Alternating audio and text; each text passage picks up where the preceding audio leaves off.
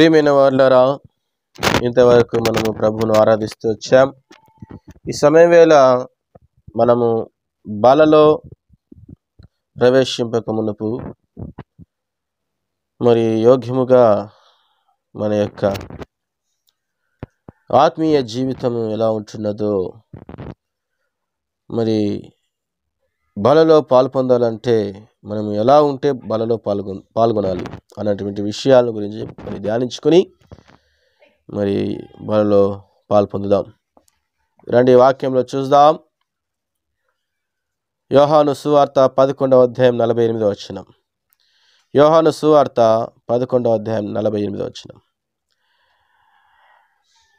మనం ఆయనను ఇలాగు చుచుచు ఊరకుండిన ఎడల అందరూ ఆయన ఎందు విశ్వాసముంచెదరు. చాలు. ప్రార్థన చేసుకుందాం. ప్రేమ నమ్మకలు పలుకు తండ్రి జీవుల మదేవ ప్రభు ఉదయకాల సమయంలో తండ్రి ఇంతవరకు ఆరాధించడానికి కృప చూపించారు. మరి బల్లలో యోగ్యముగా పాలు పొందడానికి చక్కగా నన్ను నీ యొక్క శిలు చట్టం మరుగు చేసుకుని మీరే మాట్లాడవలసిందిగా వేడుకోవచ్చు ఏసునామంలో ప్రార్థిస్తున్నాను తండ్రి. ఆమె ప్రియ సహోదరుడ సహోదరి మరి యోహాను పదకొండు నలభై ఎనిమిదిలో చూసినట్లయితే మనం ఆయనను ఈలాగు చుచుచు ఊరక్కుని నెడల అందరూ ఆయనందు విశ్వాసం ఉంచుతారు అదేవిధంగా సామెతలు ఇరవై అధ్యాయము ఆరో వచనం చూసుకున్నట్లయితే నమ్ము కొనదగిన వాడు ఎవరికి బయ- కనబడును? అనే విషయం మనం చూస్తాం. నమ్ము కొనదగిన వాడు ఎవరికి కనబడును? ఇక్కడ నిజంగా విశ్వాస జీవితంలో మనము నమ్మకస్తులుగా ఉన్నప్పుడు ప్రభువు పట్ల నమ్మకంగా జీవిస్తున్నటువంటి మన విశ్వాసపు జీవిత ప్రయాణములో మనకు వ్యతిరేకంగా సాతానుడు రకరకాలైనటువంటి విరోధ భావాల వి- విరోధ భావముతో కూడుకున్నటువంటి అనేక దురాత్మలను వాడు మరి మన విశ్వాస జీవితంలో పోరాటానికి తీసుకొస్తాడనమాట. ధర్మశాస్త్రమును బహునిష్టముగా ఆచరించే యూదులు యేసు క్రీస్తుని దేవుని కుమారునిగా నమ్మటం లేదు. ధర్మశాస్త్రమును బహునిష్టగా ఆచరించే యూదులు యేసు క్రీస్తును దేవుని కుమారునిగా నమ్మటం లేదు. ఎందుకంటే ప్రభువు ధర్మశాస్త్ర సంబంధమైన ఆచారములను సమర్థించకుండా ఖండించుచున్నారు. ఒక సమయంలో శాస్త్రులు పరిచయులు ప్రభుతో మీ శిష్యులు విశ్రాంతి దినమందు ఎందుకు ఉపవాసం ఉండలేదని అడిగారు. అందుకు ప్రభువు మదేశ్వార్త పన్నెండు ఎనిమిదిలో చూసినట్లయితే మనుష్య కుమారుడు విశ్రాంతి దినమునకు ప్రభు ఉన్నాడని చెప్పి వారిని ఖండించారు. అంటే విశ్రాంతి దినము ప్రభువు కంటే లేక శిష్యుల కంటే గొప్పది కాదు. కాలములను నియమించిన వాడు ప్రభువే కాబట్టి కాలములు ప్రభువు కంటే గొప్పవి కావు. అయితే శాస్త్రులు పరిసయులు ప్రభు కంటే కాలములే గొప్పవిగా నమ్ముతుంటున్నారు. అంటే విశ్రాంతి దినములను పండుగ దినములను వారు ప్రభు కంటే గొప్పవిగా భావించి వాటికి బానిసలైపోయారు. అలాగే ధర్మశాస్త్ర ప్రకారం యాజకులు స్నానం చేసిన తరువాతనే భోజనం చేయాలి. కానీ ప్రభువు స్నానం చేయకుండా భోజనమునకు కూర్చున్నారు. శాస్త్రులు పరిసయులు దీనికి అభ్యంతరపడ్డారన్నమాట. అయితే ప్రభువు దీనిని ఖండించు హృదయ శుద్ధి ప్రధానమైనదిగా చెప్తూ వచ్చారు. మరియు ధర్మశాస్త్ర ప్రకారం దెబ్బకు దెబ్బ కొట్టాలని ఉంది. అయితే మతేసు వార్త ఐదో అధ్యాయం ముప్పై తొమ్మిది వచ్చంలో కానీ ప్రభువు నిన్ను ఎడమ చంప మీద కొడితే కుడి చెంప కూడా తిప్పాలని చెప్తూ ఉంటున్నారు. ధర్మశాస్త్ర ప్రకారం వ్యభిచారం చేసిన స్త్రీని రాళ్ళతో కొట్టి చంపాలని ఉంది. కానీ ప్రభువు మీలో పాపము లేనివాడు మొదట రాయి వేయాలని చెప్పాడు. అప్పుడు వారంతా వెళ్ళిపోయారు. ప్రభు ఆమెను క్షమించి విడిచి పెట్టారు. యోహాను ఎనిమిదో అధ్యాయము ఏడు నుంచి తొమ్మిదో వచనంలో మనం చూస్తాం. ప్రభు చెప్పిన ఈ మాట ప్రకారం వ్యభిచారం ఒక్కటే పాపం కాదు. హృదయములో వచ్చే దురాలోచనలు మోహపు చూపులు అసూయ ద్వేషములు ఇవన్నీ పాపములే. అయితే ఇవి పాపములని ధర్మశాస్త్రములో లేవు. ఆ స్వభావాలు క్రియారూపం దాల్చితేనే పాపములని వ్రాయబడింది. ధర్మశాస్త్ర కాలంలో ప్రధాన యాజకునికి క్షమించే అధికారం లేదు. ఏ చిన్న పాపం చేసినను అందుకు ధర్మశాస్త్రంలో రాయబడినట్లుగా పాప ప్రాయశ్చిత్తం కొరకు బలి అర్పణలు తీసుకుని రావాలి. కానీ క్రొత్త నిబంధనలో ఏ అర్పణయు అవసరము లేదు. పాపం చేస్తే ప్రభు నామమున పశ్చాత్తాపపడి ప్రార్థనలు చేసుకుని క్షమాపణ పొందాలి. ముఖ్యముగా ధర్మశాస్త్రం ఎందుకంటే ఏవి పాపములో ఏ ఏవి పాపములు కావో తెలియజేయటానికి ఒకవేళ పాపం చేస్తే క్షమాపణ కలగటానికి బలి అర్పణలు నైవేద్యములు చేయాలి. ఇంకా కొన్ని పాపములకు మరణ శిక్షయే పరిష్కారం. ఇంతే తప్ప ఒక మనుషుడు మరి ఒక మనుషుని క్షమించవచ్చుననేది ధర్మశాస్త్రములో లేదు. అయితే ప్రభువు ఆ పద్ధతిని కొట్టివేశాడు. ఏ బలి అర్పణలు అవసరం లేకుండా ఒకరినొకరు క్షమించుకునే పద్ధతిని స్థాపించాడు ఆయన. ఇది నిమిత్తమే మార్కు సువార్త రెండవ అధ్యాయం పదవచనంలో ఇందు నిమిత్తమే పాపములను క్షమించుటకు మనుష్య కుమారునికి అధికారము కలదని చెప్పాడు. కనుక ఇప్పుడు విశ్వాసం ఉంచవలసినది ప్రభు మీదనే. ధర్మశాస్త్రమును నమ్మితే పాప క్షమాపణ కలగదు. అంటే విశ్రాంతి దినములను పస్కా పండుగ పర్ణశాలల పండుగలను నమ్మి ఆచరిస్తే పాప క్షమాపణ కలగదు.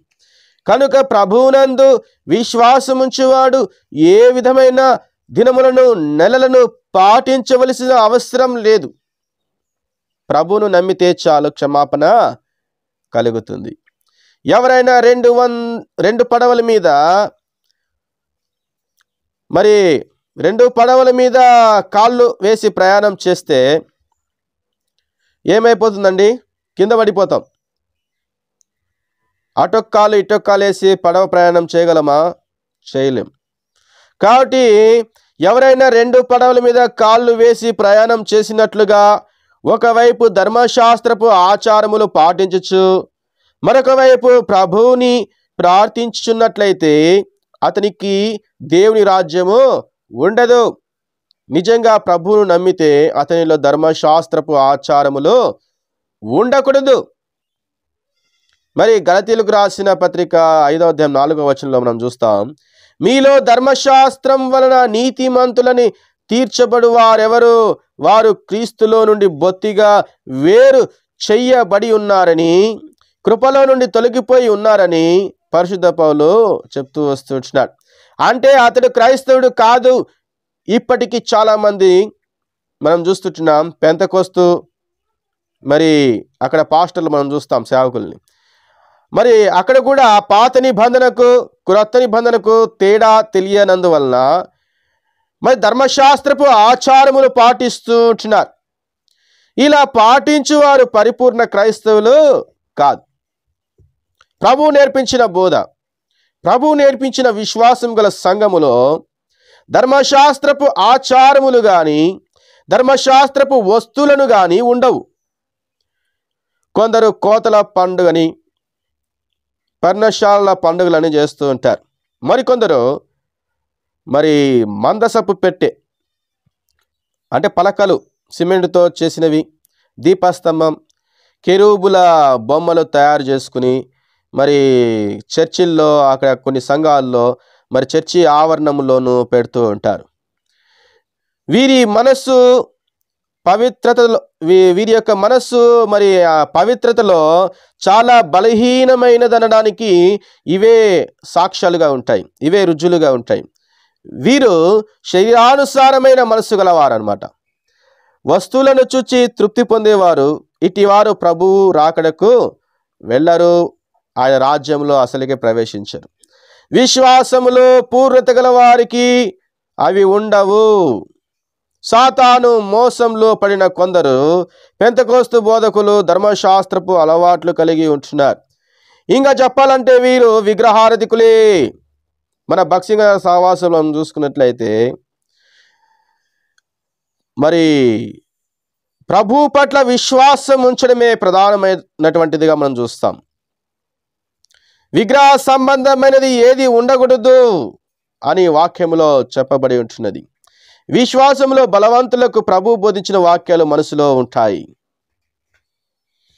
కాబట్టి మన భక్సింగయ్య గారి నుంచి మనం చెప్పుకున్నట్లయితే ఆయన ఎక్కువగా ప్రభువును హత్తుకొని ప్రభువే ఒక గొప్ప ఆయుధంగా ఖడ్గంగా భావిస్తూ మరి ప్రార్థనా జీవితములో అత్యంత గొప్ప ఆశ్చర్యకారమైనటువంటి క్రియలను చూస్తూ అనేక మందికి నాడు గొప్ప సాక్షిగా నిలబడ్డాడు. ఇంత గొప్ప ధాన్యత ఎవరికి దక్కుతుంది? మనకు కూడా ఇటువంటి గొప్ప ధన్యత కావాలంటే మనం ఏం చేయాలంట? విగ్రహ సంబంధమైనటువంటివి ఏవి మన విశ్వాస జీవితంలో ఉండకూడదు. పూర్ణమైనటువంటి విశ్వాసము ప్రభు పట్లే ఉండాలి. అప్పుడు మనం ఏం చేస్తామంట? ప్రభు రాకడను ఎదుర్కొంటాము ఆయనతో ఆయన రాజ్యంలో ప్రవేశిస్తాము. కాబట్టి యోహాను సువార్త పద్నాలుగు ఇరవై ఆరు వచనంలో మనం చూసుకున్నట్లయితే ప్రభు అక్కడ ఎట్లా ఉంటున్నాడంటే ప్రభువు ఆదరణకర్త. ఆయన ఎలా ఉంటాడంటే ఆదరణకర్తగా ఉంటున్నాడు. అనగా తండ్రి నా నామమున తండ్రి నా నామమును పంపబో పరిశుద్ధాత్మ సమస్తమును మీకు బోధించి నేను మీతో చెప్పిన సంగతులన్నింటినీ మీకు జ్ఞాపకం చేయను అని అంటున్నాడు. కాబట్టి మనము జ్ఞాపకం చేసుకోవాల్సింది ఎవరినో తెలుసా? మన ప్రభువుని. ఈ దినములను ఆచారములను పండగలు ఇవి కాదు మనకు కావాల్సింది. మనకి అస్సలు శిశులైన పండగ ఎక్కడో తెలుసా? పరలోక రాజ్యం ఆ ప్రభుతో మన ప్రభుతో కలిసి చేసుకునేదే నిజమైన పండగ. అంతేగాని ఈ లోక సంబంధమైనటువంటి ఆచార వ్యవహారాలు కట్టుబాట్లు ఇవి కాదు మనకు కావాల్సింది. కాబట్టి విశ్వాసం ఉంచాలి. ప్రభు పైన విశ్వాసం ఉంచాలి. మరి ప్రభు ఏమి బోధించాడు? పర్ణశాలల పండుగలు పస్కా పండుగలు ఉత్సాహకాలములు ప్రత్యక్షపు గుడారపు సామాగ్రి గురించి బోధించారా? అంటే మందసపు పెట్టే దీపస్తంభాలు దీపపీఠము వాటిని తయారు చేసుకుని వాటిని చూస్తూ ప్రభువుని జ్ఞాపకం చేసుకునొచ్చు ఆరాధించమని బోధించారా? మరి ఆ విధంగా మరి దేవుడు చెప్పాడా? అలా వాటిని జ్ఞాపకం చేసుకుంటే హృదయశుద్ధి కలుగుతుందని దేవుడు బోధించాడా? శత్రువులను ప్రేమించడం క్షమించడం తగ్గించుకోవడం సాధ్యమవుతుందా? ఏమాత్రం సాధ్యం కాదు. ఇవన్నీ మరి లోక సంబంధమైనటువంటి ఆచార సాంప్రదాయాలు కట్టుబాట్లు పాటిస్తూ ఉంటే ప్రభువుని మర్చిపోయి మరి విగ్రహ సంబంధమైనటువంటి వాటిని తయారు చేసుకుని ఆ పండుగలో చేసుకుంటా పోతా ఉంటే మరి శత్రువులను ఏ విధంగా ప్రేమిస్తావు? ఏ విధంగా క్షమిస్తావు? ఏ విధంగా తగ్గించుకుంటావు? శత్రువుని ఎలా జయిస్తావు? ఏ మాత్రం సాధ్యం కాదు. అయితే ఇంకా దాస్యపు ఆత్మ నుండి విడుదల పొందని కొందరు మరి ఇటువంటి లోక సంబంధమైనటువంటి పండుగలను పాటిస్తూ ఉంటున్నారు కాబట్టి సహోదరుడా సహోదరి విశ్వాస జీవితంలో ప్రభువుకు అత్యంత సమీపంగా ఉండాలి. అది నేర్చుకోవాలి కానీ మరి ఏది కాదు. లోక సంబంధమైనది కాదు మనకు కావాల్సింది. ఆత్మ సంబంధమైనది. కాబట్టి ఆదరణకర్త అనగా తండ్రి నామమును పంపబో పరిశుద్ధాత్మ సమస్తమును మీకు బోధించి నేను మీతో చెప్పిన సంగతులన్నిటికీ సంగతులన్నింటినీ ఏం చేయాలంటే మీకు జ్ఞాపకం చేయొచ్చు. దేవుడు మనకు జ్ఞాపకం చేస్తున్నాడు. ఆయన పరిశుద్ధాత్మ శక్తిని పొందుకోవాలి కానీ లోక సంబంధమైనటువంటి అపరిశుద్ధతను మనము తీసుకోకూడదు. పరిశుద్ధతను తీసుకోవాలి. అది ఎక్కడుందంటే మన ప్రభు దగ్గర ఉంది కాబట్టి సహోదరుడా సహోదరి నీవు ప్రభు నేర్పించిన విశ్వాసమును కలిగి ఉండాలి. యోను సువార్త ఇరవై అధ్యాయం ఇరవై తొమ్మిదో వచనంలో చెప్పబడినట్లుగా చూచి నమ్మిన వారి కంటే చూడక నమ్మిన వారు ధన్యులని ప్రభువు చెప్తూ ఉంటున్నాడు. ప్రభు మరి చెప్పిన మాటకు మనం ఏం చేయాలంట? పాత్రులము కావాలి. అటు విశ్వాసమును సంపాదించుకోవాలి. ప్రార్థన వలన ప్రభు బోధల జ్ఞాపకాల వలన పరిశుద్ధాత్మ నింపుదల వలన నీవు పరిపూర్ణ క్రైస్తవుడిగా ఎదగాలి. మరి హెబ్రోన్ సహవాసములో మన బక్సింగ గారి సహవాసములో భక్సింగన గారు ఏం సంపాదించుకున్నారండి? మరి లోక సంబంధమైనటువంటి వాటిని సంపాదించుకున్నాడా? ఆత్మ సంబంధమైనటువంటి పరిశుద్ధతను సంపాదించుకున్నాడా? ఈనాడు అనేక వేల కొన్ని వేలల్లో సంఘాలు మనం చూస్తున్నాం అనేక సంఘాలు చాలా సంఘాలు ఉన్నాయి. మరి ఇన్ని సంఘాల్లో మరి దేవుడు మరి బక్సింగ్ అన్న గారిని ఏ విధంగా విశ్వాస జీవితంలో నడిపించుకున్నాడు? మరి బక్సింగ్ అన్న గారు ఏ విధంగా నడిచాడు? కేవలం ఏంటో తెలుసా? నమ్మకంగా జీవించాడు ప్రార్థనాపరుడుగా ఉన్నాడు.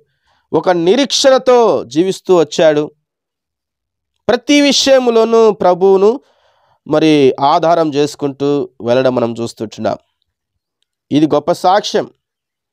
అటువంటి విశ్వాస జీవితంలో ప్రభువును హత్తుకొని జీవిస్తున్నట్లయితే పరిపూర్ణ క్రైస్తవుడిగా పరిపూర్ణులుగా మనం ఉంటాం. మరి మనం ఎలా ఉంటున్నాం? పరిపూర్ణమైనటువంటి క్రైస్తవులుగా ఉంటేనే మనము బలలో యోగ్యముగా పాలు పొందడానికి అర్హత ఉంటుంది.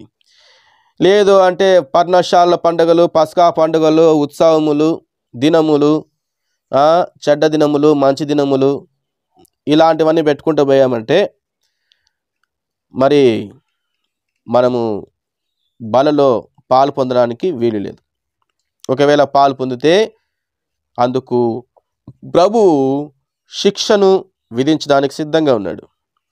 మరి అటువంటి శిక్షకు పాత్రలము కాకూడదు అంటే ఇప్పుడే ఏం చేయాలి? ప్రభు పాదాల చెంత మరి ఒక క్షమాపణ అనే ఒక అవకాశం ఉంది. క్షమా క్షమించే దేవుడు మన దేవుడు.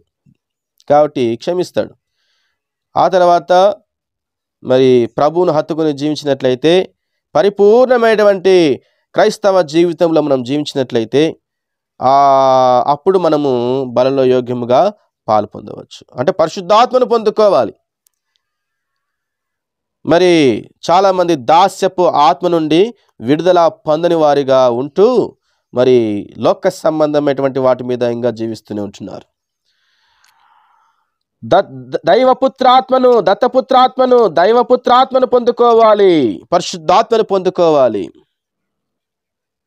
మరి ఇటువంటి గొప్ప పరిశుద్ధతను కలిగి మనం జీవిస్తూ యోగ్యముగా బలలో పాలు పొందాలని దేవుడు కోరుతూ వచ్చాడు దేవుడి వాక్య భాగ్యం శాశ్వతించును గాక. ఆమేన్.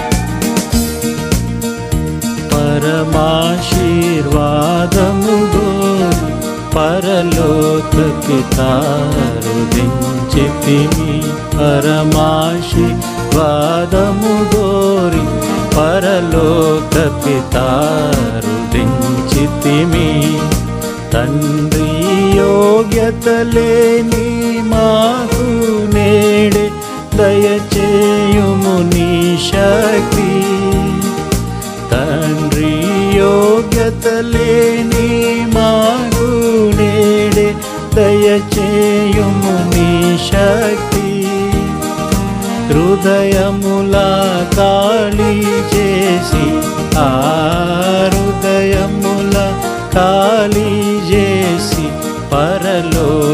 పిత అరుదించితిమి పరమాశీర్వాదము గోరి పరలోక పిత అరుదించితిమి ఎన్నెన్నో పాపాలు చేసి అపరాధమున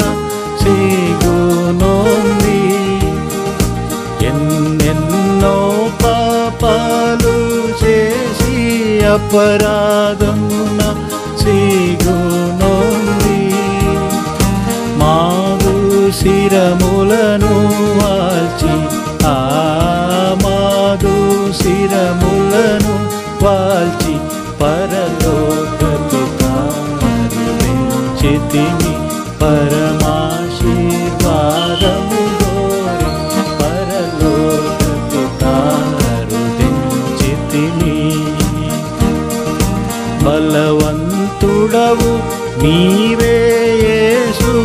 ప్రభువా సర్వ శక్తియు నీవే బలవంతుడవు నీవే యేసు ప్రభువా సర్వ శక్తియు నీవే నిన్నే సదా స్తుతించెదము ఆ నిన్నే సదా స్తుతించెదము పరలోక పితా అరుదించితిమి పరమాశీర్వాదము గోరి పరలోక పిత అరుదించితిమి